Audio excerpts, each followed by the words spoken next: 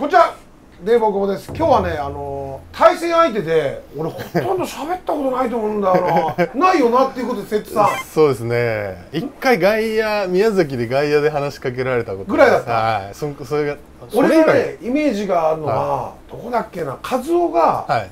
2000本安打打ったの瀬戸じゃなかったっけ？違うな。あ違いますすいません。多分違うと思いまどっか地方球場でね、はい。俺楽天でバッティングコーチの時、はい。まあ、もちろんそのメイン球場でも抑えられてんだけどペシャーってやられてはい。のは覚えてる、す楽天にだいぶやられてるイメージありますけどね。そうかね。高卒で入ったの？プロ。いやいやもう社会人で8年やって入ったの27かな。あそうなの？27スタートなんで。はい。まあ社会人も仙台のチームだったんで。うん、ね仙台だったの？そうですそうですあそうなの？それこそはい。だから楽天が一番最初タオさん監督やられた時にもう社会人でやってましたもん仙台で。なんで取んなかったんだろう？いやわかんないですけどね。おいスカウト。なんで取んなかったの、はい。その時は何？え高校だ秋田だろ？出身は？そうですそうですです。でそのまま卒業で、うん。そのまま社会人行ってるんで。あのさ、はい。狩輪野っていう村にさ、はい。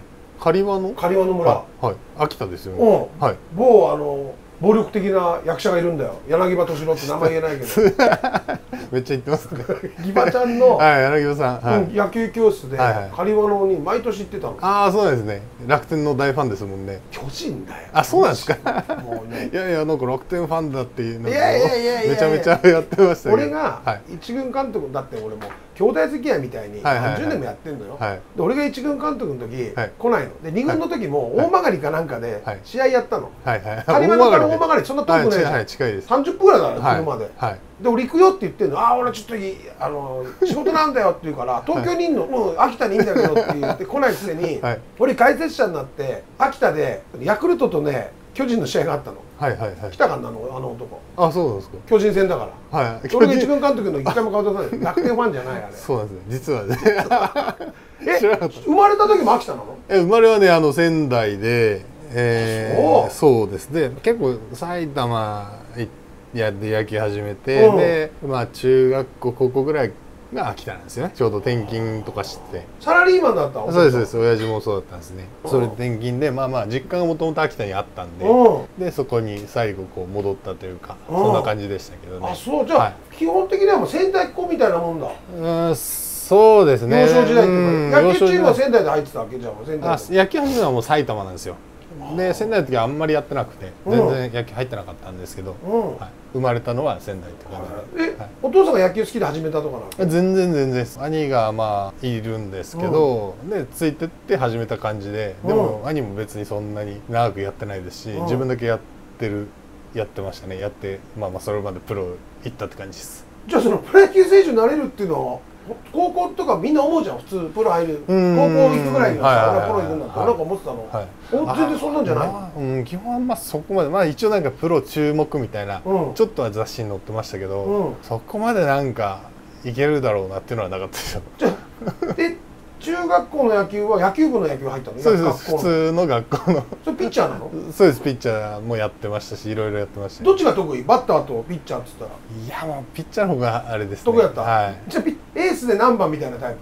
こう。クリアッパ打たないの？いや打ってました打ってました。はい打ってました。中学校ぐらいまでそうでしたけどね。う。んまあでも高校だったらやっぱピッチャー一本みたいな途中からえ高校どなってましたね。この高校行ったの？仙台。あとは秋田ですね。秋秋田。田慶法大附属って有名じゃない。あの名門。はい。名門もそうですかね。あれ小野とかそうじゃなかったそうです。小野仁さんがそうですね。先輩ですね。結構いないプロ。あとはまあヤクルトにいた鎌田さんとかね右ピおおッチ鎌田早稲田行ったやつ。そうですそうですそうです。鎌田さんと今だったらだからロッテの山口とか横浜の砂田。うん。それは何？結構みんなその辺が地元で行く連中なの？秋田慶応でそれともやっぱり野球で行ってくる子も多かったの？そうですね。県外図も結構多かったですね。ははい。だって冬は雪でしょ？いまあそうですね。仙台よりは降りますね。降るでしょ？狩輪の夏は熊出るしよ。そうそうそう。これ冗談で言ったの？熊出るそうだねって言ったら本当に秋田は基本熊多いですからみたいな普通にちょっとしないからちょっと山に入ったら熊注意の看板が立ってるぐらいそうなの。熊が多いですよ。な春先ぐらいにはい。ギバちゃんので行って、えそしたらギバちゃんの奥さんが「ゆうこちゃん」って言うんだけど「ゆうこちゃんこんなとこだよ熊出てくんだろ」って冗談で言ったら「先週も小学校の校庭で 放送があって そうで結構そんな感じですなあ、はい。で雪もすごいっつったよ。ああっちの方は降りますね。じゃあ何練習中学とかじゃあ室内でやるもんじゃないでしょ？いやもうだから体育館か学校の中かみたいな感じですよ。高校はまあね室内あったからですね。できましたけど。プロのスカウトもさ、うん。俺編成でもトレードやるスカウトだったんだけど、プロ担当だったけどアマに聞くとやっぱり雪国のうん。室内とかないチームなんかだと、はい1年引くって言ってた。ドラフトは年齢でかけるけど、はいはいはプロ行っても高3ぐらいの期でい時間を僕もちょっと時間差つけるみって言ってた。ああそうなんね。って練習量違うじゃない。外でやれるのは。やれないんだ本当はい冬は全くできない。じゃな、ええ。でも九州男児の方が、うん。正直俺秋山こうちゃんとかあー。東海部で付き合ってるから こうちゃんたちのが喋んなくて秋田の人って喋んないと思ったら、はい。大概喋るでみんな。柳葉さんのイメージじゃないですか。そうなんだっけな何するばそのとこするばなんとかで。なんかあんだよな。なんかはい俺もちょっとね聞き取れないんですよ。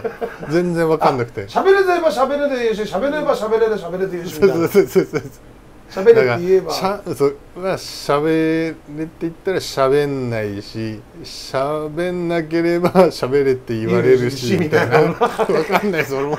よくなんか細川さんあたりがねあの得意ですね。青森ですからあいつそうそうそう。あいつほん酔ったら普通になるもんあれ。酔っ払うあの言葉あれが出ますもんね。うん。津軽弁がね。そうそう。さえじゃあそこで高校の時もじゃあそんな名門行ってもプロっていうまでじゃな注目ぐらいだったの？うん注目ぐらいでしたね。でかかんなかったんだドラフ全然かかんないですね。